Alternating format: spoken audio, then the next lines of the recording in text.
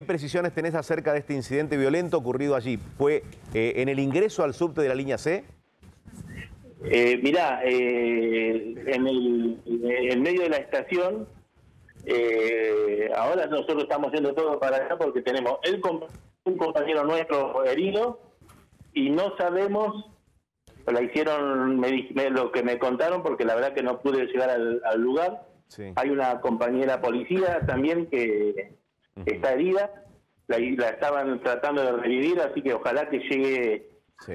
y que pueda eh, no le pase nada, ¿no? Bien, bien. eh, Está siendo atendida en este momento en- el porque Churruca. nunca pasó una balacera así en el, eh, adentro del subte. Sí, la verdad que es un incidente que acabamos de contar. Carlos, ¿tenés más detalles? Sí, un hombre comenzó una discusión con personal de empleados del subte y en ese momento la oficial de apellido Salazar del servicio de subtes de la policía de la ciudad interviene en la discusión y el hombre que estaba agrediendo al personal del subte le saca el arma y le efectúa dos disparos.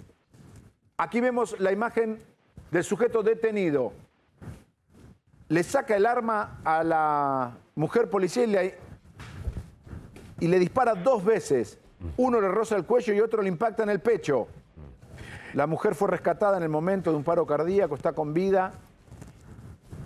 Se sustrae también otra arma de fuego, un cuchillo con el que le cortó también el cuello a la mujer.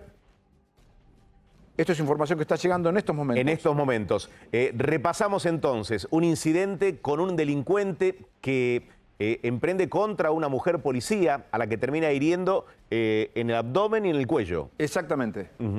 Con el arma que le quita a ella. Sí. Porque, insisto, todo comienza cuando este sujeto empieza a discutir con el personal del subte porque habría, el personal del subte lo habría visto robando. Sí.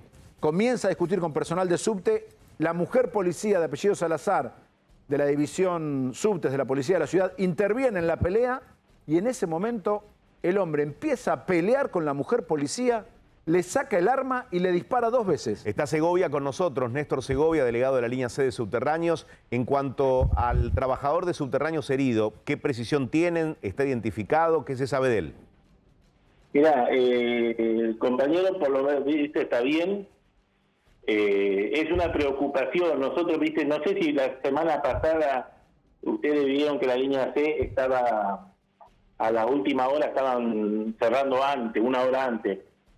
Por el tema de esas, de no sé qué está pasando con la violencia de la gente, ¿no? O de esa gente delincuente que entra en el subte, te roba un teléfono o, o- o le escupe a un conductor.